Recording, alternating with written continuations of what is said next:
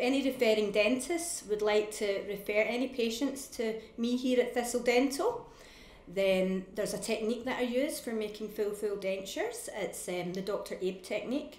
There's certain techniques that are used that can sometimes achieve suction on a lower denture.